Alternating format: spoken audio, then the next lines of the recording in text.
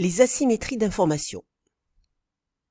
Commençons par définir ce que sont les asymétries d'information. Lors d'un échange, les acheteurs et les vendeurs ne vont pas avoir la même information sur le produit.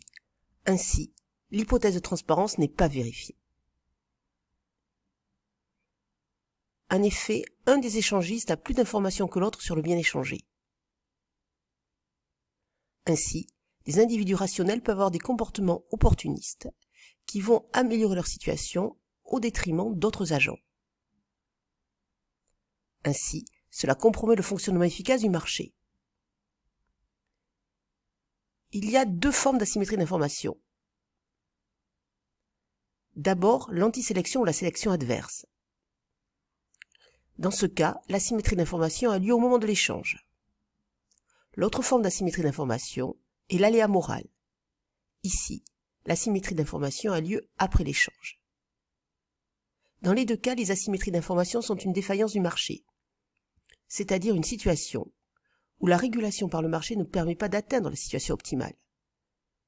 Ainsi, la recherche du bien-être individuel maximal n'aboutit pas au bien-être social maximal.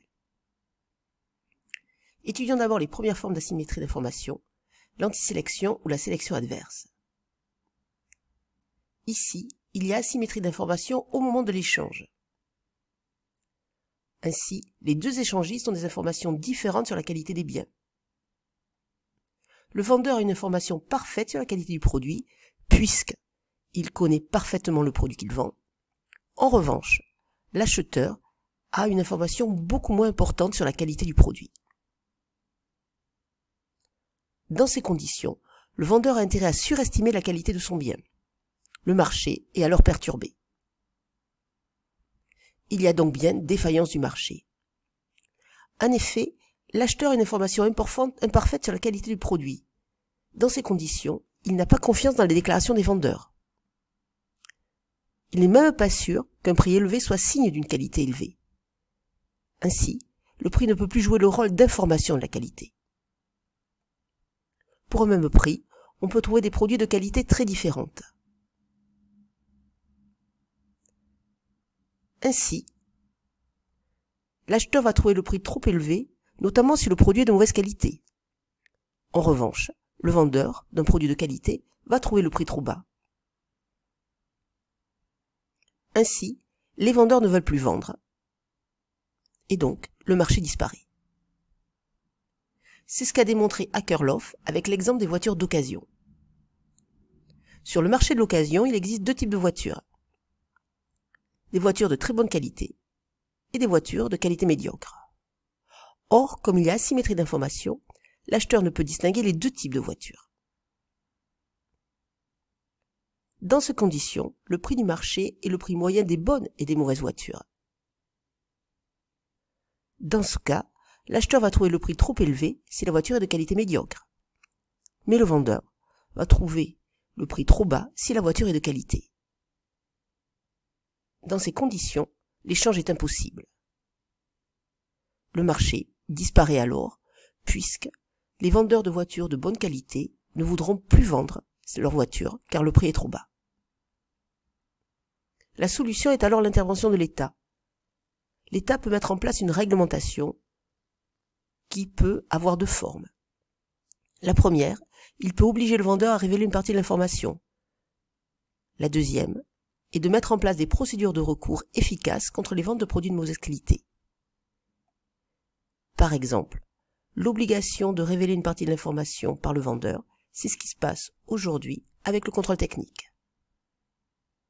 Les procédures de recours efficaces contre les ventes de produits de mauvaise qualité sont aujourd'hui la garantie légale contre les vices cachés. Deuxième forme d'asymétrie d'information, l'aléa moral. Ici, il y a asymétrie d'information après l'échange. Une des parties ne peut contrôler l'action de l'autre partie ou bien n'a pas les moyens d'en évaluer l'opportunité. Un des agents peut alors prendre des risques préjudiciables pour l'autre. On est bien dans une défaillance du marché. En effet, quand l'individu est assuré contre différents risques, par exemple la maladie ou le vol, il va adopter des comportements peu prudents. En effet, il sait qu'il est assuré. Il va donc être remboursé. Ainsi, il va y avoir une augmentation des dépenses. Par exemple, pour l'assurance maladie. Ici, l'individu est remboursé de ses dépenses médicales. Il est donc incité à surconsommer, aller chez le médecin, consommer des médicaments. Dans ce cas, les dépenses de santé augmentent, ce qui crée un déficit de la sécurité sociale, qui oblige alors à augmenter les cotisations pour tous les assurés.